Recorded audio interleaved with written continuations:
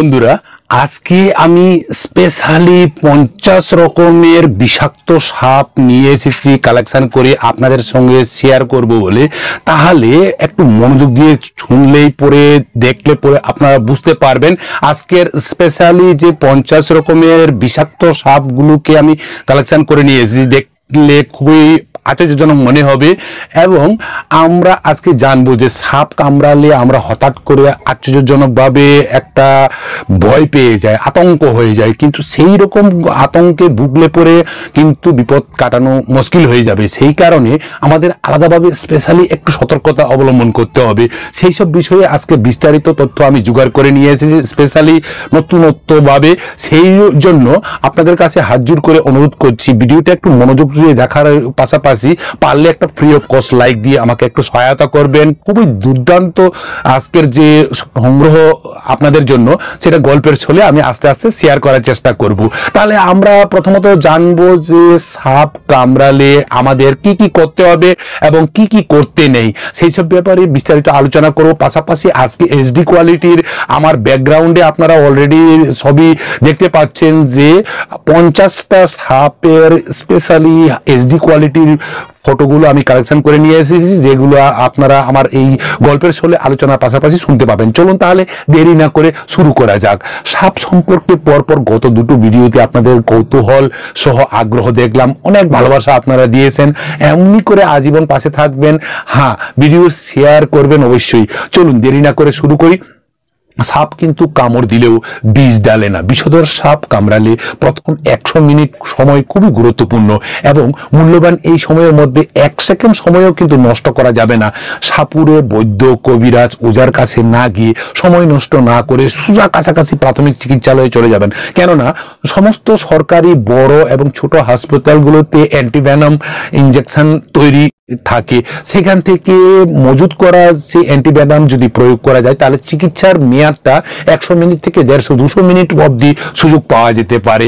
অন্যথা কিন্তু আপনি যদি কি হয় দেখা যাক বলে অপেক্ষা করলে সেই ক্ষেত্রে কিন্তু একটু রিস্কটা বেশি হয়ে যাবে। সুতরাং প্রাথমিক চিকিৎসালয়ে চুপ বন্ধ করে যাবেন, কোনো উজা, বৈদ্য সাপুরে কবিরাজ যেরূপ আশ্রয় নেবেন না।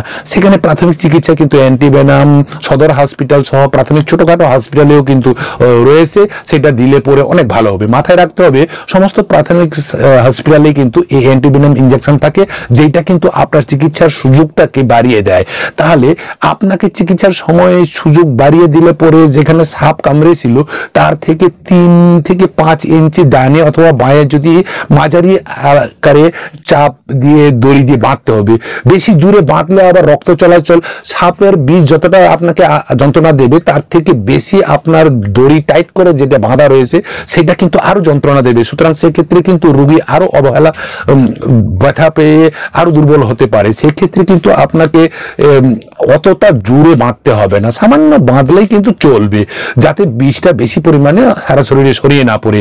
উপর, নিচ, মাঝারি চাপে বাঁধবেন যাতে শরীরে বেশি ছড়াতে না পারে, তার জন্য। কিন্তু তা বলে বেশি জুড়ে বাঁধ একেবারে যাবে না। তাহলে বন্ধুরা, আপনারা আমার এই ভিডিওটি একটু নিচে দেখুন। ছোট্ট করে মোর লেখা আছে ইংরেজিতে এম ও আর ই মোর ওই মোর অপশানে টাচ করলে আমার এই ইউটিউব চ্যানেল সম্পর্কে বিস্তারিত বিবরণ আপনারা ওখানে পাবেন। পাশাপাশি আজকের ভিডিও সম্পর্কেও অনেকটা বিস্তারিত ওখানে জানতে পারবেন। কেননা ছোট্ট একটা ভিডিওতে সবকিছু তথ্য দেওয়া সম্ভব হয় না।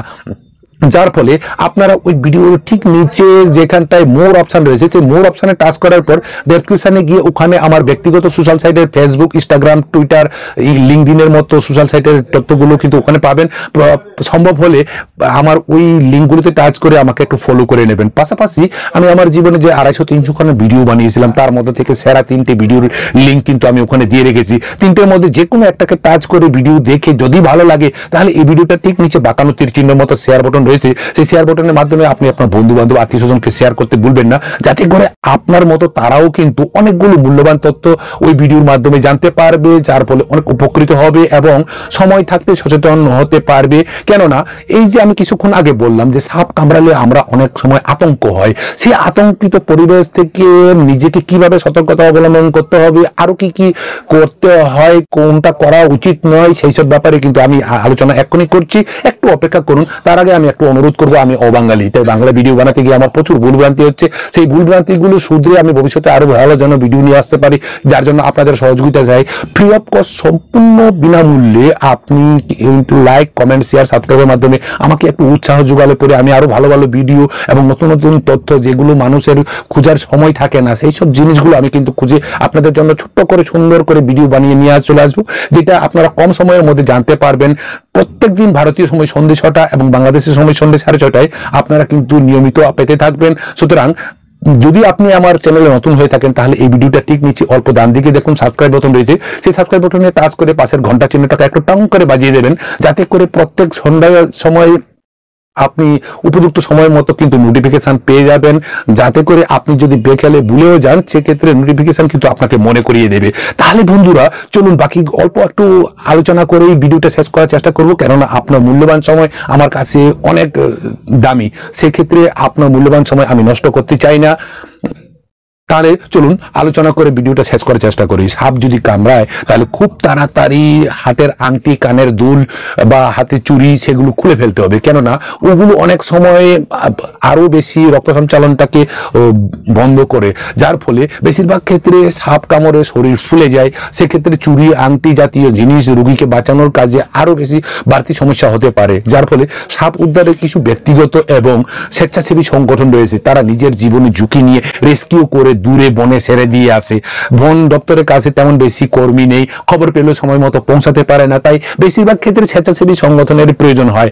আমি একজন কে জানি, যিনি যিনার নাম সমীরণ বারিক। আমি ওনার সম্পূর্ণ ভিডিওগুলো ফলো করি এবং উনি প্রত্যেকটা ভিডিওতে মানুষকে সাবধান, সতর্কতা করে এবং ভারতের পশ্চিমবঙ্গে হুগলি, ডানকুনিতে উনি থাকেন এবং ডেসক্রিপশন বক্সে আমি ওনার লিঙ্ক দিয়ে দেব এবং আমি আমার প্রত্যেকটা যে সাপ সম্পর্কে ভিডিওগুলোতে আমি ওনার কথা উল্লেখ করি, কেননা উনি বেশিরভাগ সাপ রেস্কিউ করে সাপ ছাড়াও অন্যান্য প্রাণী বিপদে পড়লে কোথাও হয়তো পড়ে রয়েছে, নালায় পড়ে গেছে, গর্তে পড়ে গেছে, সেখান থেকে আপনি উদ্ধার করতে গেলে সেখানে আপনাকে কামড়ে দিতে পারে সুতরাং প্রশিক্ষণপ্রাপ্ত যে অভিজ্ঞ রেস্কিউম্যান তাকে খবর দিলে পরে হবে। সুতরাং আমার ডেসক্রিপশন বক্সে কিন্তু ওনার সব কিছু দেওয়া রয়েছে ফোন নাম্বার এবং ওনার ভিডিওর লিঙ্ক সেখান থেকে গিয়ে আপনারা ওনার ভিডিও ফলো করলে দেখতে পারবেন যে প্রাণী জগতের সাথে মানুষের কীরকম অঙ্গাঙ্গিভাবে জড়িত রয়েছে এবং কি করতে নেই, কি করতে আসে সেই সব ব্যাপারে বিস্তারিত তথ্যের পাশাপাশি আপনারা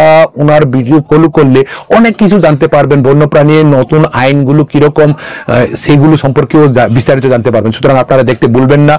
আর সরকারের তরফ থেকে সেই সব রেস্কিউমেনদের একটু আলাদাভাবে ভাতা দেওয়া উচিত। কেননা ওরা যা সম্পূর্ণ বিনামূল্যে রেস্কিউ গুলো করে বরংশ তারা মানুষের কাছে অপবাদ কুড়িয়ে নেয়, কোনো কেউ ধন্যবাদ খুব কমই লোক দেয়। সুতরাং সরকারের উচিত তাদের কাছে আলাদা ভাতা দেওয়ার পাশাপাশি ইন্স্যুরেন্স করা, তাদের বডি ইন্স্যুরেন্স করা। যে কোনো মুহূর্তে সে সাপের বিষাক্ত সুবলে বা অন্যান্য রেস্কিউ করতে গিয়ে বিপদ আপদ কারণে মারা যেতে পারে। উঁচু উঁচু বিল্ডিং বাড়িতে উঠে সেখানে দালান বাড়ি থেকে, জানালা থেকে অনেক কিছু রেস্কিউ করতে গিয়ে হঠাৎ পড়ে গেল। তাদের জীবন তো চলে গেল, কিন্তু তাদের পরিবারের যেন একটু কভারেজ হয়। সেই জন্য সরকার মহোদয়ের তরফ থেকে ওদের ইন্স্যুরেন্স এবং ভাতার প্রার্থনা করছি আমি। এবং ইন্স্যুরেন্স হয়তো সমস্ত হসপিটালে মজুদ অ্যান্টিভেনম মূলত দুই রকমের হয়, যেরকম মনি মনুভেনম আর পলিভেনম এই মনুভেনম মানে নির্দিষ্ট কোনো একটা সাপ কামড়ালে সেই সাপেরই বীজ প্রয়োগ করা হয় যেটা সেটাকে মনুভেনম বলে, আর পলিভেনম মানে যে কোনো সাপ কামড়ালেই সেখানে প্রয়োগ করা যায়।